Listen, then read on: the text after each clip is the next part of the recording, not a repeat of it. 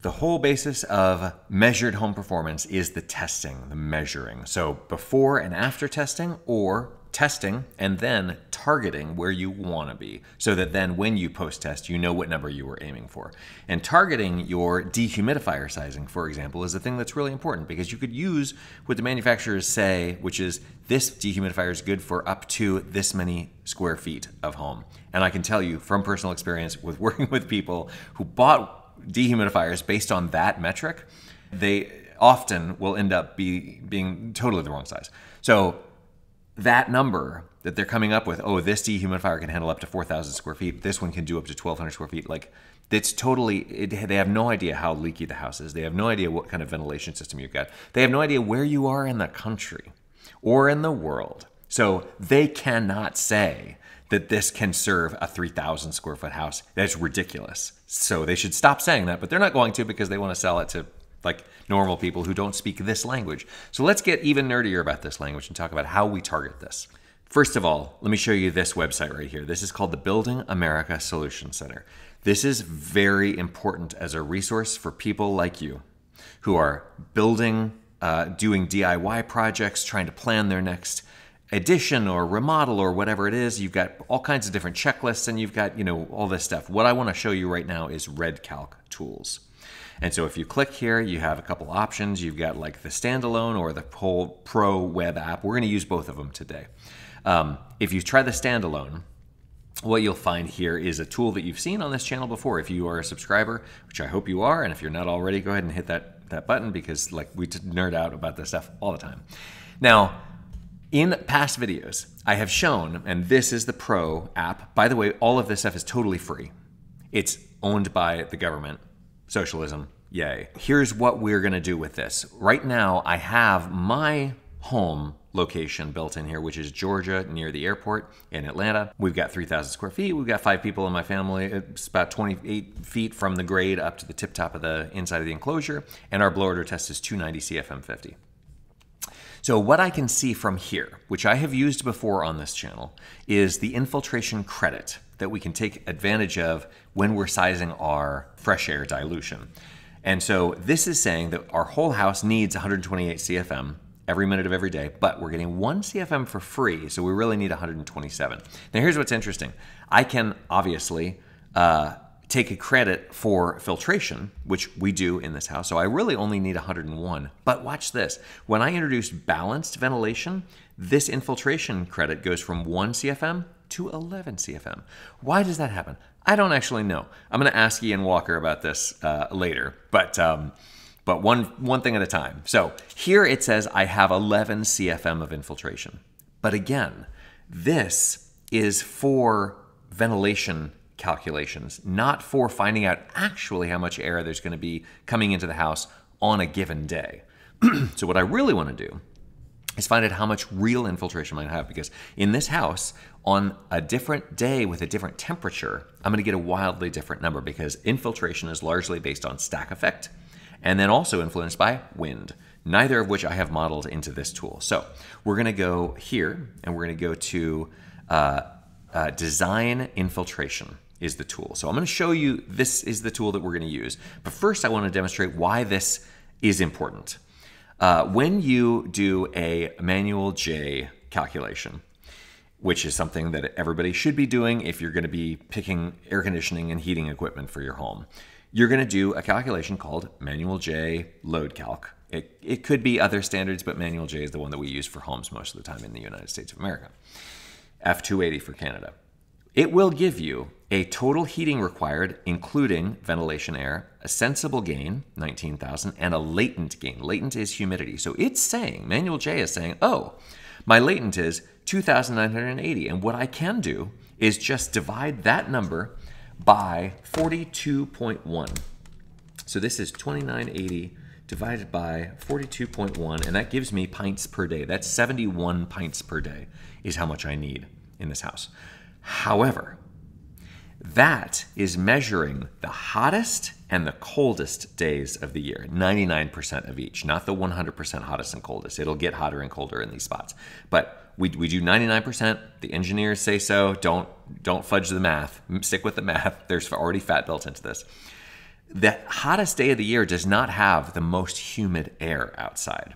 And this is why we use this tool. So when you come over to ashrae-meteo.info, you get to this amazing site, which gives you all of these weather stations all over the world. So we're gonna go dial in on Atlanta Airport, which is right here. And we can see that on the hottest day, which is 92 degrees, which again, we're verifying uh, over here, 91, 92. The, the 92 degree that I've got pulled up here is from uh, 2021 data. This one is probably older than that because I did this calculation on our house in back in 2018. So now it's 92 degrees is the hottest, 99% hottest, but the wettest temperature is 80. On an 80 degree day, I'm going to have 129 grains of moisture per pound. So let's just do this calculation real quick. Uh, if I want to bring the air temp and humidity down to, and I'm going to use this right here. So we're at about a thousand feet elevation. We want it to be 75 degrees and we want it to be 50% relative humidity. You can see that my grains per pound is about 65. It's 67. If I bring this temperature down to 72 and I still want it to be 50% relative humidity, now I need to reduce it down to 60, 61-ish, right? So playing with this, if I wanted it to be 70 degrees and 50% relative humidity, it's even drier. I need to bring it down to 57 instead. So somewhere around 65 is generally where I shoot people. Um, That's a weird way to say it. Somewhere around 65 is where I'm aiming for you to be. 65 grains of moisture per pound. You could go for 60 if you wanted to. Um, and so to do that, what we're going to do is first figure out. Uh, let's say let's say 60, just to be super conservative, right? So we have we have 128 here, right here, 128.5. Let's call it 129 minus 60 is a difference of 69. Nice. 69 grains per pound is what we need to strip out of the air. We don't know how much air there is going to be coming into my house. So we're going to use uh, this tool right here. The design infiltration with AIM2. AIM2 is just an engine that was developed, I think it was in uh, Alberta, Canada. So building leakage, the very first thing you need to know is your blower door test. If you do not have a blower door test, you have no way of doing this. So stop right now and go get a blower door test. It should cost you a couple hundred bucks. It's not a big deal. It's pretty fast. They can do it in about an hour. Um, most important metric that you can get on your house. Don't change the pressure exponent. 0.65 is like based on the kind of size and characteristics of the holes that are in your house. Building height is important, so we're going to put my house at 28 height. Uh, building has a vented crawl space? No way, gross. Building shelter class, structures immediately adjacent. Yeah, that sounds like me. And terrain category, urban or suburban, large city center, open or waterfront. Mine is urban or suburban. Specify leakage distribution. Red Calc says do not change this unless you have a specific reason to suspect that these numbers are off. Like if you know you have more accurate data, then go ahead and use that. But otherwise, just stick with what they've got here. Uh, building has an open flue or chimney? No, gross. Again, uh, design indoor temperature. Okay, so here we're going to use that temperature that we had over here, which is 80.4, which I'm going to round down to 80. We're to make it 80, and inside I want it to be, let's say 72, again, because we're aiming for that 60 grains of moisture per pound. So 72 degrees at 50% relative humidity is where we're aiming. Design wind speed, I could say zero. I could say five. We're, let's stick with five for a minute. We'll see which, what happens. Stack induced infiltration. This is based on the delta T from inside to outside and the height of the building. We got 98 CFM, cubic feet per minute, every minute coming in from that. Oh, and by the way, I'm sorry, my building leakage is totally wrong. Boom. Okay, good. Now we're now we're in business. 290. Okay, so I have 6.6 CFM coming in from infiltration from stack effect. Wind, with that five mile an hour wind, is producing 1.5 CFM additional to that. Now, this one does not have the ventilation built into it, which I would also put into this. So we would put, um, we would add this number to the ventilation that I'm running, which again, we looked at a few minutes ago here. And I'm going to be running 91 CFM. Now, I have to run my, because that's my fresh air target. My exhaust target is 105 because that's how my bathrooms work. I can't turn off my ERV or else my bathroom starts sinking up. So now, the calculation that we do here, 69 grains per pound that we need to remove times the the actual air coming in, which is 105 CFM of uh, ventilation through the ERV, plus that 6.6 CFM that we've got on this design day, which is the most humid day of the year, times our little coefficient, which takes into account multiplying by 24 hours and blah, blah, blah, 0.0148. And our actual pints per day is 114 pints per day.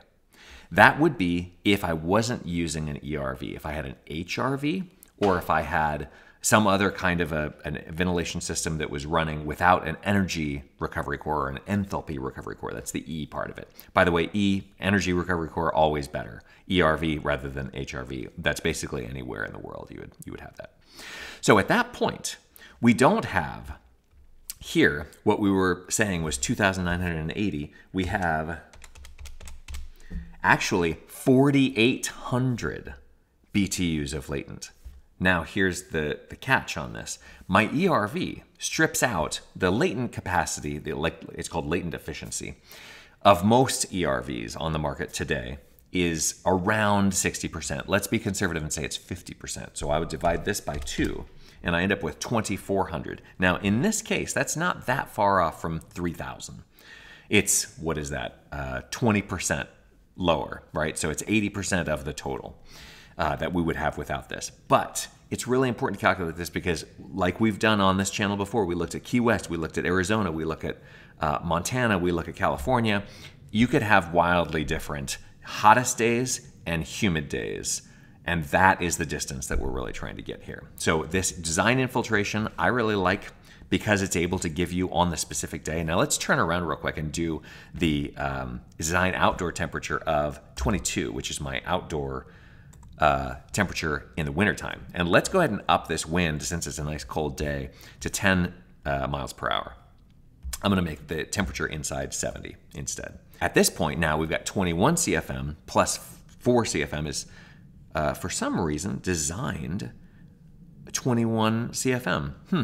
Again, there's all kinds of little like if then and pieces of uh, of minutia inside these algorithms. So I'm not sure exactly why that is not adding together, but let's just say for the sake of argument that that this is right. So 21 would be our number. That's a lot more, right? So um, 21 plus the ERV running 105 all the time would be our new number. Now, or again, this is why ERV is very useful if you have a very airtight home. If you do not have an airtight home, I'm just going to reiterate again, it's not a big enough selling point for the efficiency that you're going to get, which is a drop in the bucket based on air leakage that you've got through your house. So if you haven't had a blower test, get a blower test. If your house is not airtight, don't worry about an ERV for right now because you can get it through other things like a ventilating dehumidifier.